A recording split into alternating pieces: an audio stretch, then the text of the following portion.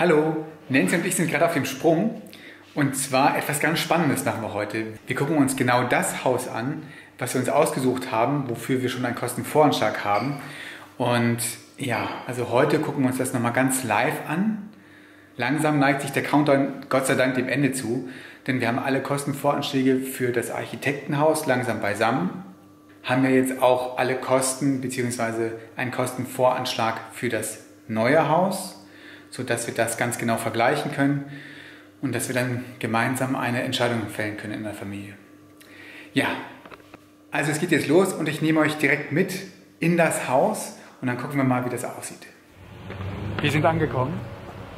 Das ist das Haus, worum es sich dreht und was auch von der Wohnfläche etwa äquivalent wäre zu dem Architektenhaus, zu dem umgebauten Architektenhaus.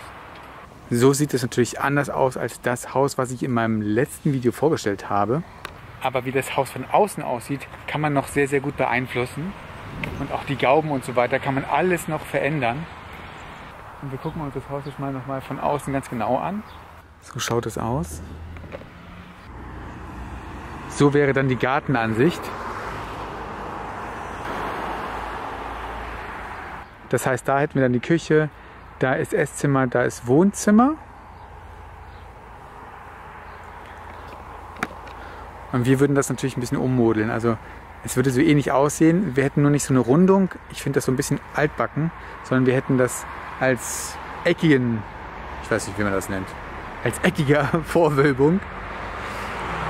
Und die hätten wir auch eckig, also die Gauben wären dann auch eckig, sodass das Ganze ein bisschen moderner erscheint. Das Haus, so wie es da steht, ist wirklich perfekt geplant. Mein Problem ist jetzt immer nur, wie stelle ich das auf unser Grundstück drauf? So rum wäre es total schön, also vom Garten her. Es ist nur so, dass wir ja ein längliches Grundstück haben. Das heißt, da käme dann das Auto und wir müssten irgendwie da an der Seite rein. Oder man macht es wirklich so, wie es jetzt gerade hier steht, dass man um das Haus herum geht. Dass man die ganze Planung so übernimmt, wie sie jetzt hier ist. Also würde man jetzt hier am Wohnzimmer vorbeifahren, mehr oder weniger. Und dann hier die Parkfläche. Ich muss mir also noch ein bisschen was überlegen. Ich merke nur, dass die Planung, die wir hatten bis jetzt, dass ich das doch nicht so gut finde. Also das würde ich doch ein bisschen anders noch machen. Ich würde eher versuchen, diese Raumplanung, die in diesem Haus schon ist, zu übernehmen, weil die schon sehr, sehr krass optimiert ist auf die einzelnen Räumlichkeiten, auf das Badezimmer, auf die einzelnen Kinderzimmer, auf die Elternschlafzimmer und so weiter. Also es ist schon, schon extrem gut optimiert hier. Also wenn man da eine Änderung reinbringt, dann kann sehr schlechter werden. Jetzt gehen wir mal in das Haus.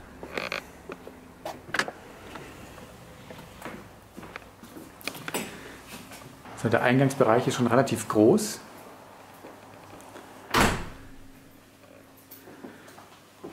Garten wäre jetzt hier direkt vor uns. Das wäre schon ein schöner Eingang, ne? also wenn man direkt in den Garten gucken kann. Hier ist das Esszimmer und es ist so ein bisschen optisch getrennt. Also das ist eine Sache, die man nicht unbedingt haben muss, aber ich finde es total schick, so einen Fake-Kamin mit einzubauen. Und da hinten ist die Mami mit dem Baby in dem echt sehr großen Wohnzimmer.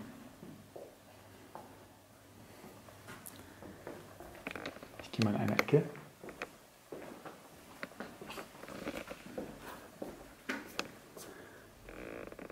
So. Das ist schon ziemlich groß. Hier Essbereich und da die Küche. Die Küche bleibt im Architektenhaus relativ klein und das ist hier mal ganz anders. Ich persönlich finde es jetzt schade, dass es so schwarz ist. Ich mag schwarz als Küche gar nicht. Das sieht alles so dunkel und drückend aus. Hell und freundlich wäre vielleicht besser gewesen. Hier gibt es noch mal eine kleine Theke, wo man dann die Kinder schnell abfrühstücken lassen kann morgens vor der Schule. Und dann ist hier auch diese Rundung, die man von außen gesehen hat. Da kann man nach draußen gucken. Das ist echt auch sehr klug geplant hier.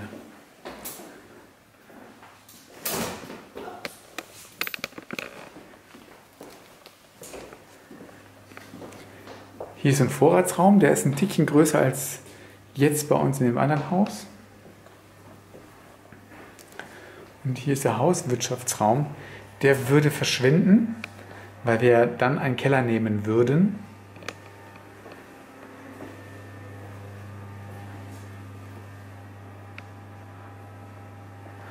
Und dann wäre hier ein Schlafzimmer, ein zweites. Oder hier wäre dann das Elternschlafzimmer, so rum. So dass der obere Bereich dann nur für die Kinder ist. Hier ist nochmal ein Badezimmer. Auch relativ groß. Sehr schön. Und jetzt gehen wir mal nach oben. Für mich natürlich sehr, sehr wichtig, wie das oben eingeteilt ist. Denn eigentlich geht es ja die ganze Zeit darum, den Kindern Platz zu schaffen. Dass sie auch Räume haben, wo sie gut unterkommen können, wo sie schlafen können, wo sie arbeiten können, wo sie ihre Hobbys ausführen können und so weiter und so weiter. Das ist also sehr, sehr wichtig für mich. Wenn man nach oben kommt, hat man auf der linken Seite gleich schon ein kleines Badezimmer, was aber schon so geräumig ist, dass hier auch eine große Dusche reinpasst. Also eine sehr große Dusche ist das hier. Ich kann das mal so demonstrieren.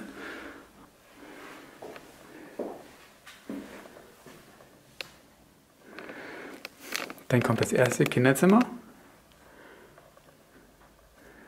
Das ist jetzt nicht ganz so groß. In der Version, die ich vorgesehen habe für die Kinder, hat jedes Kinderzimmer etwa 20 Quadratmeter. Und daneben ist gleich das Elternschlafzimmer. Ich finde es komisch, dass die Elternschlafzimmer so groß geplant sind. Davon kann ich persönlich nur abraten. Denn die Eltern sind diejenigen, die ja gar nicht sich die ganze Zeit im Schlafzimmer aufhalten, sondern die Eltern schlafen nur im Schlafzimmer, gehen dann runter ins Wohnzimmer und kochen und bewohnen das Wohnzimmer. Die Kinder sind die, die eigentlich mehr Raum brauchen. Aber auch hier ist es so geplant, dass das Elternschlafzimmer wirklich riesig ist und ein eigenes ganz, ganz großes Badezimmer hat. Und sowas finde ich persönlich etwas unsinnig, weil wer will denn baden? Das sind häufig die kleinen Kinder, die möchten gerne baden. Und man braucht ja, wenn man mehrere Kinder hat, schon noch ein zweites Badezimmer, wo die Kinder hin können. Und wenn das große zweite Badezimmer extra so angelegt ist, dass man dafür extra durch das Elternschlafzimmer laufen muss, finde ich das nicht so gut geplant. Also es ist räumlich super schön. Also dieses Badezimmer würde ich auch genauso wieder hier hinbauen. Nur würde ich es so machen, dass es eben nicht nur vom Elternschlafzimmer zu begehen ist, sondern ganz leicht von allen genutzt werden kann. So ein abgetrennter Bereich für die Schränke finde ich sehr schön. Dann hat das auch den Charakter eines begehbaren Kleiderschranks. Diese Ecke hier sehr gemütlich gemacht. Und dann geht es hier weiter. Ein weiteres Kinderzimmer. Auch wieder mit großen Fenstern, sehr hell. Auch so geräumig. Also selbst wenn das Bett jetzt hier mitten im Zimmer steht, kann man sagen, Mensch, also immer noch viel, viel Platz. Und das ist so ein Riesenbett. Eieiei. Hier ebenfalls ein sehr großes Zimmer Jedenfalls so groß, dass ein Kind es sehr, sehr gut nutzen kann für seine Hobbys und zum Schlafen und so weiter. Was ich nicht erwartet habe und was auch nicht auf der Karte drauf war zur Planung, war das da oben. Habe ich gar nicht auf dem Kasten gehabt. Und zwar diese Treppe geht nach oben. Und man kann hier oben, hat man nicht einfach einen Dachboden, sondern das ist hier komplett ausgebaut mit großen Fenstern und es ist riesig. Was man auch immer vorhat in seinem Leben, also man kann es hier auf jeden Fall sehr gut umsetzen. Von Kunst, also die haben, so aus Spaß haben die hier so ein bisschen Kunst hingemacht. Ich weiß nicht, was das ist. Ich glaube, das ist ein Picasso oder irgendwas sehr Abstraktes. Wird später mal sehr wertvoll sein. Und hier noch ein weiterer Raum. Wieder mit viel Fenster, viel Licht. Also ich bin total begeistert gerade. So, jetzt rattert es ein bisschen, denn ich habe nicht damit gerechnet, dass es so eindeutig ist. Manchmal wird der Wohnraum so ein bisschen schön gerechnet, ehrlich gesagt. Aber das ist einfach riesig, das Haus. Die Einteilung ist super. Die Ausrichtung auf den Garten wäre schick.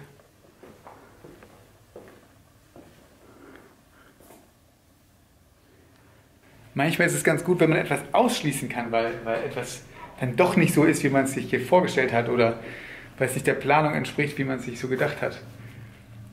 Also ich bin jetzt aber ein bisschen baff, weil das wird natürlich alles nochmal schwieriger machen. Gerade diese Idee mit dem Keller, weil das Haus, was wir hier sehen, das ist so wie es hier steht, schon günstiger als der Umbau. Und zwar wesentlich günstiger. Und wenn ich mir jetzt vorstelle, hier gäbe es dann noch eine Treppe hier runter, in den Keller. Und der Mann, der hier das geplant hat, der hat auch einen Wohnkeller geplant mit hohen Decken, Fußbodenheizung und bliblablubla. Also dann wäre das wirklich ein wunderschönes, sehr, sehr großes Haus. Na, mein Schatz, was sagst du? Ich bin hin und weg. Wir haben uns ja echt schon viele Häuser angeguckt, aber das hier, das könnte ich mir sehr gut für uns vorstellen. Ja, es ist wirklich so. Wir haben uns wirklich viele Häuser angeguckt und dann ist es dann doch zu klein oder man merkt nachher, oh, die Räume passen nicht, es ist einfach nicht passend. Und hier passt alles. Na gut. Ich glaube, wir gucken uns noch ein, zwei Häuser an. Ja? Ja. Okay. Dann bis später.